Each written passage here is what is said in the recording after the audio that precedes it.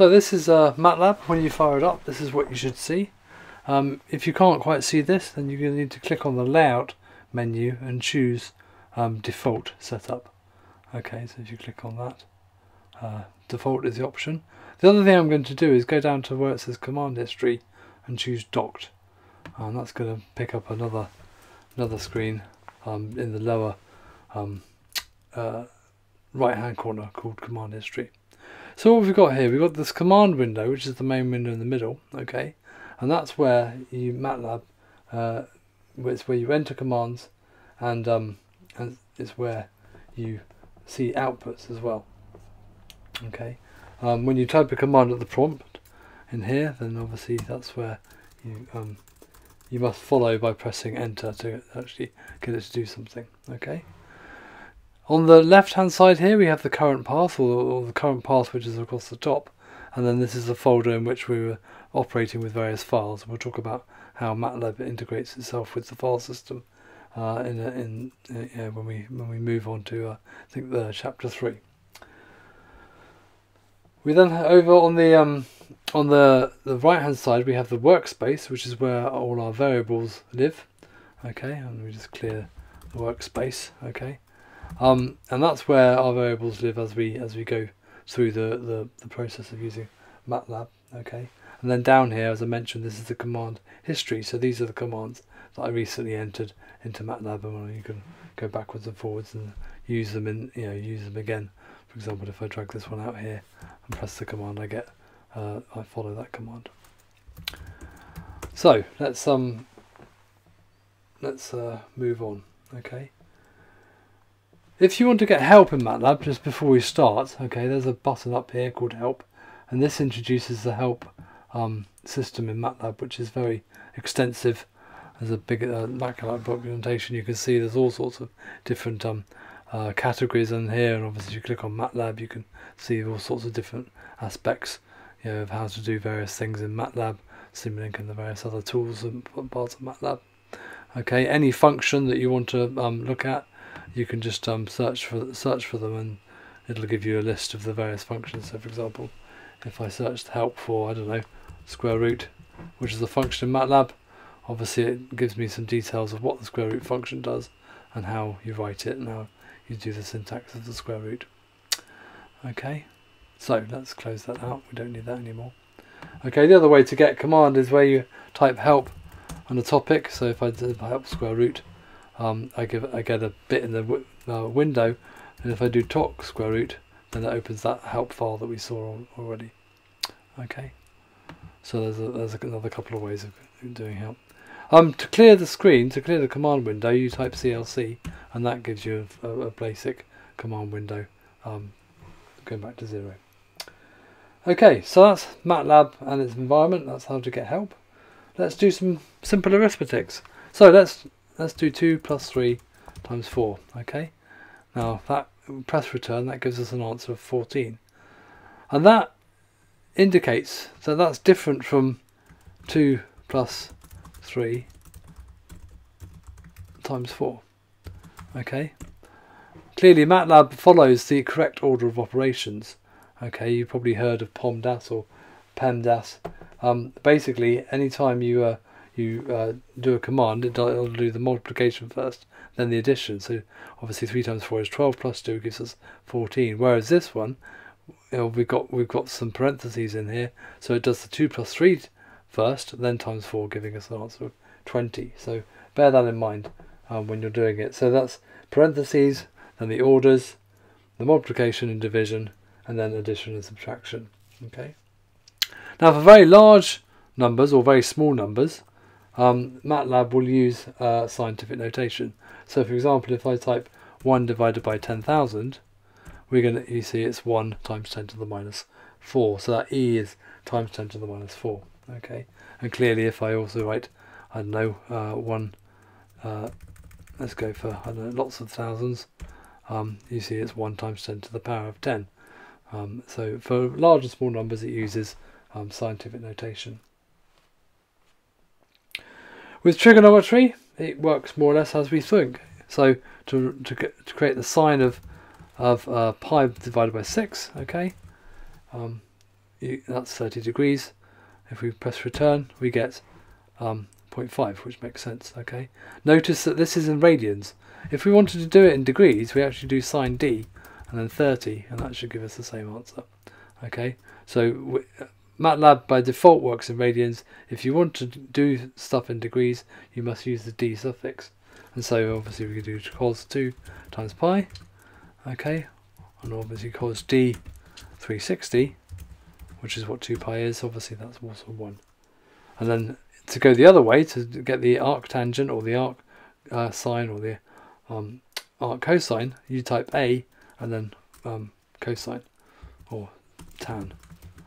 So the arc tangent of 1 gives us that. Okay, or if, if we wanted to do the arc cosine of, of 1, we get should get or 0 or 2 pi and so on and so forth. Or I sine of uh, 0.5 should give us pi by 6, which is 30 degrees. A sine d, 0.5, 30 degrees. Okay.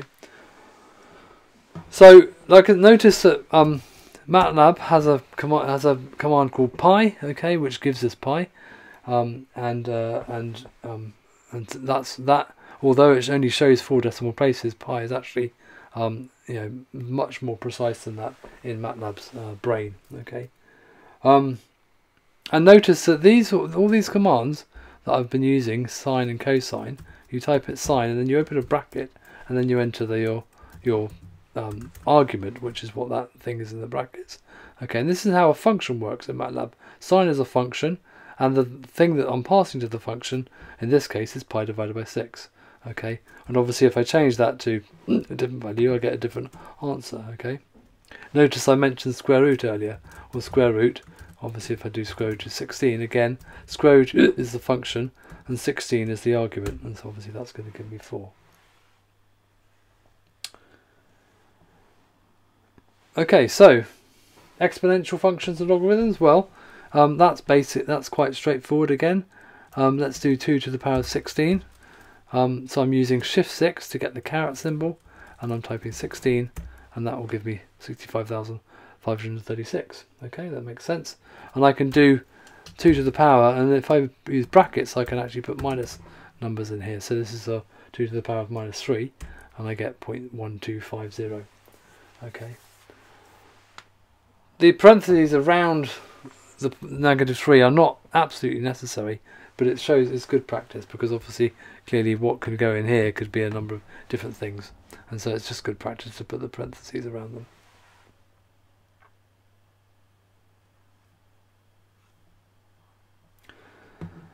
So, like I said, square root is a built-in function. Okay, so if we type in square root of 64, we should get 8, which is, um, whoops, if I do if I entered it correctly. Notice that's what an error looks like if it, if it spots an error.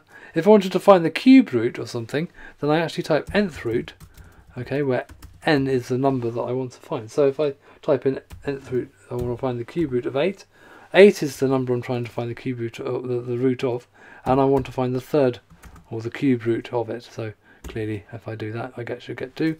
If I wanted to find the fourth root of 8, 8, 4, that will give me that answer. So if I multiplied 1.6818 four times, I would get 8. We could try it. 6818 times 1.6818 times 1.6818 times 1.6818. Notice obviously I'm only going to four decimal places. There we go. So 8,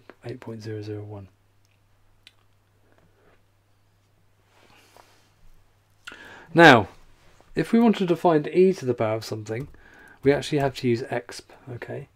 So if I wanted to find e to the power of 3 over 2, that's what it gives me. This, this is e, um, which you've probably, yeah, you've heard of e, I'm sure, is part of an exponential, okay? 2.71, uh, um, that's the value of e. And obviously you can do logarithms, so if we went, if we did logarithms the other way, so this is logarithms with respect to e, okay, oops, x, x3, this should obviously the logarithm of e to the power of 3 should give me 3, okay, and if I want to do logarithm of base 10, which is on what's on your calculator, okay, then uh, I have to write log 10. So yeah, notice on your calculator, on your normal scientific calculator, log is equivalent to um, log 10 in MATLAB, okay? And on your calculator, you'll have a button that says ln, which is natural log, and that's equivalent to log in MATLAB, okay? So this log command is ln on your calculator, and log 10 in MATLAB is log on your calculator, okay?